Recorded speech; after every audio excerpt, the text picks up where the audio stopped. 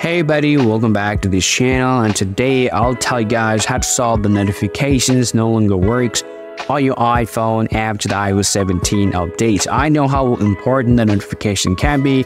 It conveys the messages and all the important things on our iPhone.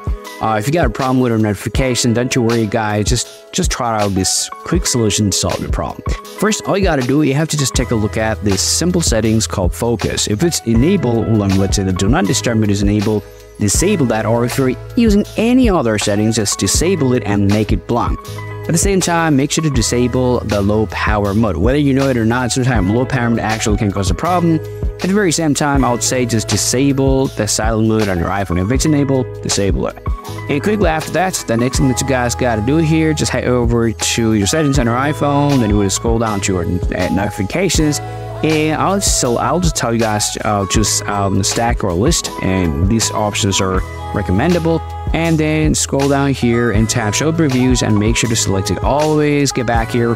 Now you got to find out a specific application that you're having problem with. Let's say you got a problem with um, snapchat or instagram or, or, or with whatsapp. It doesn't really matter. Select the app. Make sure select allow notification from the application time make sure to disable the time sensitive notification on your device. Also make sure the lock screen uh, notification center and banners are enabled.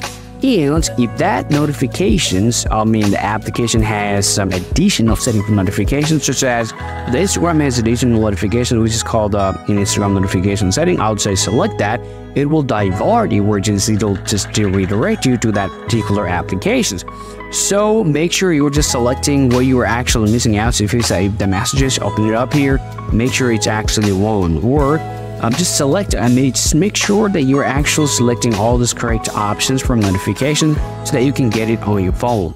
Now, if you still have problems, the next things I'll tell you guys to do is just head over to your settings on your iPhone and you just got to get out of here and just open up your screen time. Oftentimes, if you just enable the content privacy restrictions for your device, then it can create a problem. So just like me, um, try to disable the content privacy restrictions for your phone and check whether your problem is actually coming up on your phone or not.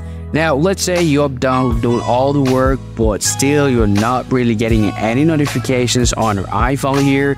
Um, there are a couple of things that you guys have to take care of. First, make sure your internet is working fine because your internet plays a very important role for you to have that messages, all these notifications, mail, and everything. If it doesn't work well, then you can have a problem. Make sure your internet is working fine. If it doesn't work well, enable airplane mode, wait around some time, and try to back off. And lastly, I say anything else, guys, here's what you gotta do. Just head over to settings last time. Uh, just open up first general, then you would just head over to transfer and reset iPhone tap reset and select restore setting. Don't worry, it's not going to build any of your data except your Wi-Fi password and the customized settings that you have changed.